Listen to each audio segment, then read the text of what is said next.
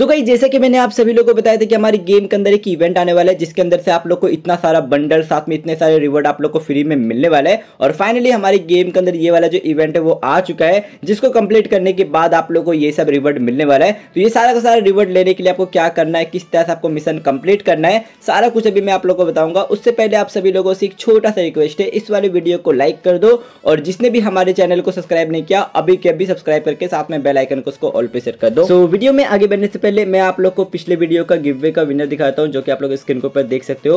और जैसे कि आप लोगों को पता है, अभी के टाइम पे मैं डेली के वीडियो पे वन सिक्सटी का रिडीम कोड का गिवे कर रहा हूँ। तो अगर आप लोग भी रिडीम कोड को लेना चाहते हो तो आप लोगों को कुछ नहीं करना, बस अपना यू कमेंट कर देना, ताकि जिसका भी रैंडम कमेंट पिकर से यूआईडी निकलेगा, मैं उसको रिक्वेस्ट भेज के वन का रिडीम कोड सेंड कर दूँगा। तो आप लोग अपना यूआईडी कमेंट करना मत भूलना। तो अब चलिए हम आप लोग को बताते हैं कि आप लोग को मिस्ट्री मैडनेस का इवेंट को किस तरह से कंप्लीट करना है। जैसे आप लोग इवेंट ओपन करोगे, आप लोगों के सामने कुछ इस तरह का इंटरफेस देने को मिलेगा। और यहाँ से आप लोग व्यू ग्रैंड प्राइज भी देख सकते हो कि इसके अंदर से आप लोगों को कौन कौन सा रिवर्ड मिलने वाला है। और उसके बगल में आप लोग यहाँ पे देख सकते हो कैप्चर नाव लिखा हुआ है तो यहाँ पे आपको कैप्चर नाव पे क्लिक करना है। और उसके बाद आप लोग को ये सब प्लान को आपको कैप्चर करना है। कैप्चर करने के बाद आप लोग के सामने मिशन आएगा। मिशन को आपको कंप्लीट करना है। कंप्लीट करने के बाद आप लोग को इतना सारा रिवर्ड फ्री में मिलेगा जैसे एट एट बंडल आपको फ्री मिलने वाला है। मोस्टर का स्किन बैट का स्किन बैकपैक का स्किन इतना सारा रिवर्ड आपको फ्री में मिलेगा। तो इस वाले इवेंट को आप लोग आराम से कंप्लीट करके सारे के सारे रिवर्ड को आप लोग क्लेम कर लेना। और अगर आप लोग को इवेंट कंप्लीट करने में कुछ भी प्रॉब्लम आता है तो मुझे आप लोग कमेंट करके बता देना। मैं आप लोग के लिए वीडियो बना के ला दूँगा।